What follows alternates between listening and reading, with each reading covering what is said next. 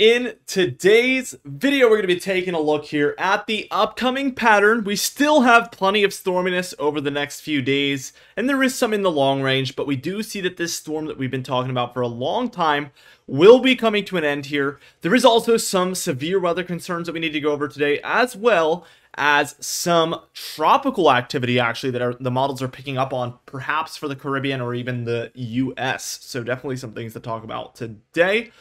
Also, some hotter weather, much hotter weather on the way later on.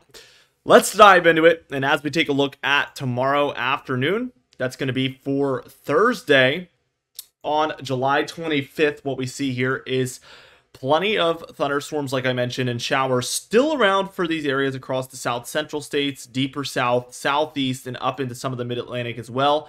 These areas are still going to be seeing it today on Wednesday, tomorrow on Thursday the 25th, and even for Friday the 26th, but that is kind of going to be the tail end of things. We do see that there is still some showers and thunderstorms up and down the Rocky Mountain range as well. This has been a pretty common occurrence there as well. Once we keep going and move on towards Friday on July 26th, we see that those thunderstorms and showers, like I said, are still ongoing, but they are really dying down by Friday looking a little bit more typical as opposed to this very, uh, very stormy pattern that we've been stuck in. Four corner states and the rest of the Rockies here, we are seeing thunderstorms and showers, like I said, around these mountain ranges, which is kind of common. We are getting close to that monsoon season where we can see these uh, spikes of activity for so, some prolonged periods of time sometimes. Definitely some interesting storms out there. Uh, for Saturday on July 27th, we're seeing again the tail end of this. It's a little bit more exclusive here for the South Central and deeper South and Southeast, I would say. Not stretching up the Mid Atlantic, not into the Ohio Valley, and not even for the uh, kind of upper Midwest either. It's mostly the deeper South areas there by Saturday the 27th. Again, still seeing some thunderstorms and showers around for your Rockies and some of the four corner states there also. By Sunday on July 28th, we continue to see these thunderstorms for the Ohio Valley, the southeast, the deep south, and south central states, kind of again dodging that mid Atlantic area.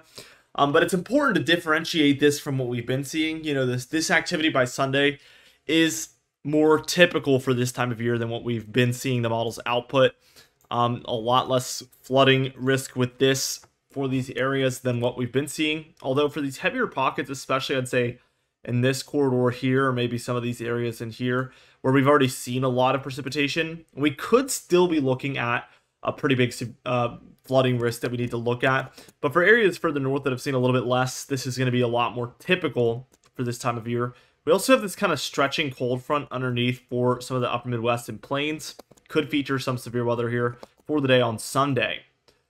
By time we reach Monday on July 29th, what we're seeing is a lot of that activity with this kind of what looks to be a frontal boundary. Uh, not really sure if it's progressing as one or not, but we see this pocket of storminess is continuing to move further and further eastward. For Tuesday on July 30th, we see that this is approaching the east coast again. This storminess is really, really prevailing. Uh, we have heavier pockets in here, but again, nothing too out of the ordinary here. Just a stormy couple of days, uh, but nothing like what we've been seeing, I would say the Northwest here for Washington, Oregon, Pacific Northwest, or uh, better yet, kind of like the Southwest in Canada there, seeing some showers and perhaps a crackle of thunder or two. Wednesday on July 31st, we see that the East Coast is again kind of going to be the focus point here. It's July 31st, like I said. Also, for the time of year and the current situation in the tropics, we really need to watch these areas offshore where there's just some potential for some lower pressure to develop with some of these storms any of this could easily become some tropical activity at any point. By the time we reach Thursday, August uh, 1st, here, what we see is again the eastern seaboard is kind of the focus. We see plenty of thunderstorms from Florida to Maine, so a very stormy day for the eastern seaboard. The four corner states still seeing, again, what could be some monsoon activity in the upper Midwest and northern plains, still seeing some of their thunderstorms here. Don't know why my pen got so little there. Uh, and then here is Friday on the 2nd. Again, monsoon activity.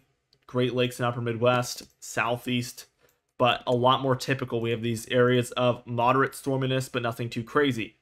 What has happened over the past 24 hours on this model, which we'll replay it, is some tropical activity has crossed over Dominican Republic and Haiti and is now over Cuba on this model. As we've kind of been tracking the potential for something to move into the Gulf, we see now this European model is currently calling for that. Not really developed yet, but once it's over the open Gulf waters, I'm sure it would have a higher chance of development. We'll look at the tropics in just a little bit and discuss this particular uh, system actually in just a moment.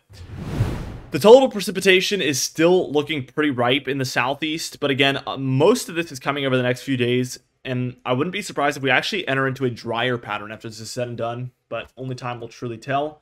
Uh, we actually, okay, I, I have no idea what's going on with the pen, guys, so we're just going to work our way through this. That was crazy.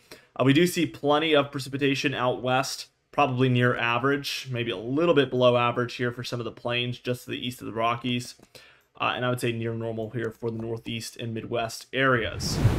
As we look at this, uh, this tells the story kind of. We're looking at near normal conditions for the west, again, below normal for the plains, highly above average still for the southeast, but again, most of that coming over just the next couple of days and then pretty close to normal for the Great Lakes and Northeast there. For the tropics, like I said, we're going to look at this. Uh, again, I've been showing this every day, but we see these invests moving off of Africa and towards the Caribbean. That's definitely the focus point here that we need to discuss.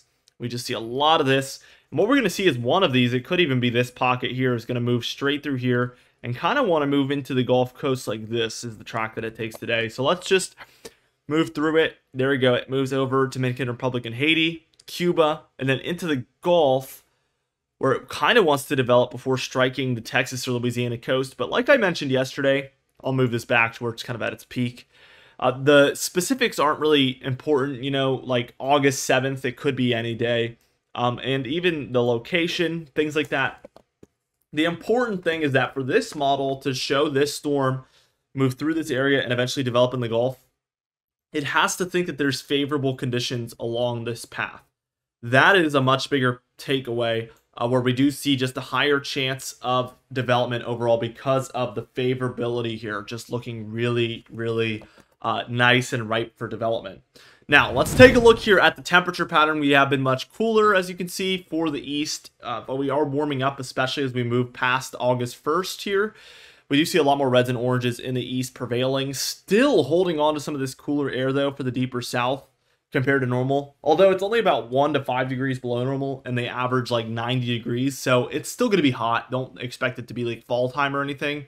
Uh, we would need much further below normal temperatures to bring anything in such as that. But uh, definitely a little bit cooler than what's typical. Might be some relief, not entirely though.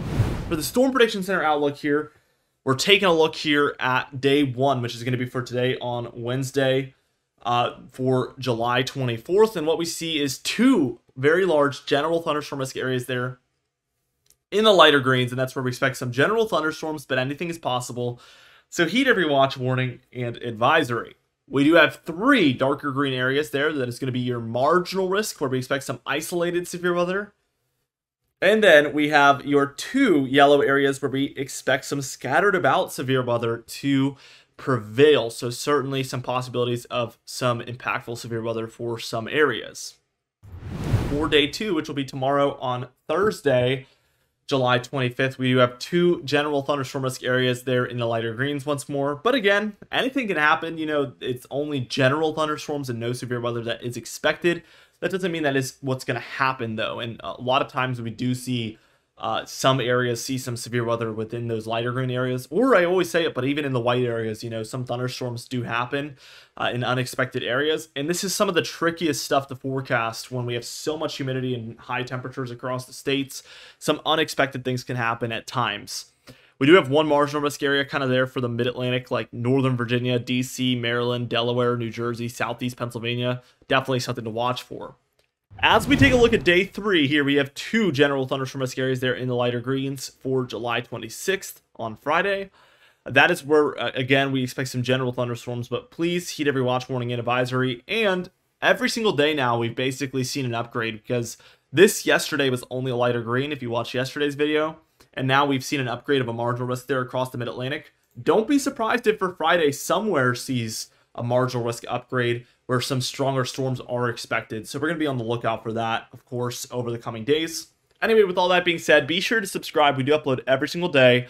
You can even hit the bell icon for daily notifications when we upload so you never miss one. Be sure to like the video if you did enjoy it, leave a comment down below, and I'll see you guys in the next video.